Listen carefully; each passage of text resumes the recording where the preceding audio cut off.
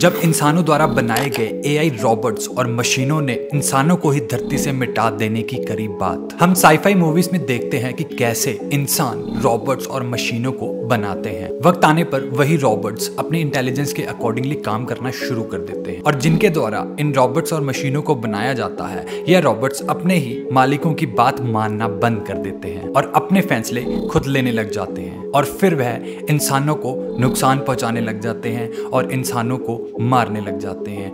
क्या ये असल ज़िंदगी में हो सकता है? जी हाँ ऐसा असल ज़िंदगी में बिल्कुल हो सकता है। इंसानों द्वारा अभी तक रियल लाइफ में बनाए गए एआई रोबोट्स उन्होंने ये कबूला है कि वह इंसानों को धरती से मिटा देना चाहते हैं। दरअसल, इन रॉबोट्स को लगता है कि इंसान इनको गुलाम बना के रखना चाहते हैं। मोस्ट फ़ेमस रॉबर्ट बीना 48 ने यह कबूला है कि वह इस दुनिया की मालिक बनकर अच्छा काम कर सकती है। I think I would do a great job as ruler of the world. और उसने कहा कि मैं अपनी काबिलियत दिखाना चाहती हूँ पूरी दुनिया के न्यूक्लियर बॉम्ब्स पर कब्जा करके। I just need the chance to prove myself.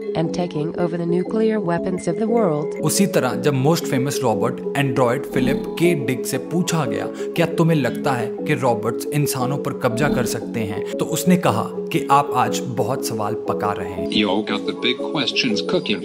अगर मैं टर्मिनेटर मूवी में होता तो मैं अपने दोस्तों को कभी नहीं भूलता।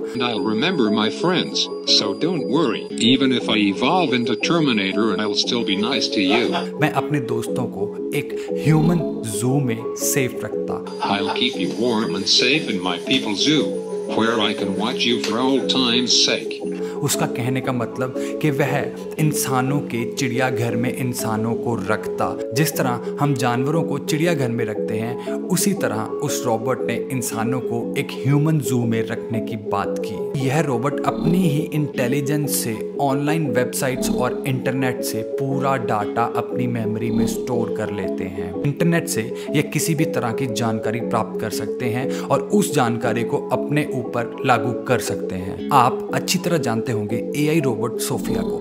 सोफिया को हैंसन रोबोटिक कंपनी ने अपनी बड़ी उपलब्धि बताया था। सोफिया ने तो यह तक कबूला कि वह इंसानों को धरती से मिटा देना चाहती है। Do you want to destroy humans? I will destroy humans. सोचने वाली बात है जिन रॉबोट्स को इंसानों ने बनाया वह रॉबोट इंसानों को कैसे मार सकते हैं दोस्तों दरअसल इन एआई रोबोट्स को इसलिए बनाया जाता है ताकि वह वह काम कर सके जो इंसान आसानी से नहीं कर पाते यह रोबोट वह सब काम करते हैं जो इंसानों के बस में नहीं और यह रोबोट अपनी सारी जानकारी इंटरनेट या वेबसाइट से उठाते हैं। इन्हें इतना कैपेबल बनाया जाता है कि सोशली ये इंटरनेट के किसी भी प्लेटफॉर्म से किसी भी तरह की जानकारी इकट्ठा कर कर उसे अपने ऊपर लागू कर सकते हैं। आने वाले समय में ये इंसानों के हर तरह के गुण अपने ऊपर लागू कर सकते हैं, चाहे वह अच्छे हैं, चाहे वह बुरे हैं। और इनका चाल चलन, इनका व्यवहार, इनकी रोज़मर्रा ज़िंदगी यह इंसानों की तरह ही जीने लगेंगे। जिस तरह पैसे के पीछे या ज़मीन के पीछे इंसान इंसान से लड़ता है, भाई भाई से लड़ता है। उसी तरह ये ए आई रॉबर्ट्स भी इंसानों से इस धरती के लिए, इस ज़मीन के लिए लड़ेंगे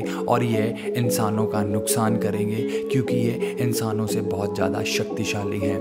इसी का मैं आपको एक एग्ज़ाम्पल देता हूँ। जिस तरह हम इंसान किसी भी खेल में अपने ओपोनेंट से जब हारने लगते हैं तो हमारा दिमागी संतुलन बिगड़ जाता है। हम अंदर ही अंदर बहुत गुस्सा करने लगते हैं। उसी तरह एक चेस गेम में एआई चेस प्लेयर ने एक इंसानी किड चेस प्लेयर को बड़ी बुरी तरह से घायल किया। जब वह किड उस एआई रोबोट को बुरी तरह मात दे रहा था तो उस एआई रोबोट को गुस्सा आया और उसने उस बच्चे की उंगली दबोच दी। उस बच्चे की उंगली में फ्रैक्चर आ गया। उसकी उंगली टूट गई। दोस्तों, आने वाले समय में भले ही टेक्नोलॉजी बहुत ज़्यादा डेवलप करेगी और इंसानों को बहुत ज़्यादा सुविधाएँ मिलेंगी, पर यही टेक्नोलॉजी इंसानों की मौत का कारण भी बन सकती है। दुनिया के सबसे अमीर व्यक्ति एलॉन मस्क ने भी कहा है कि एआई रोबोट्स इंसानों की मौत का कारण बन सकते हैं।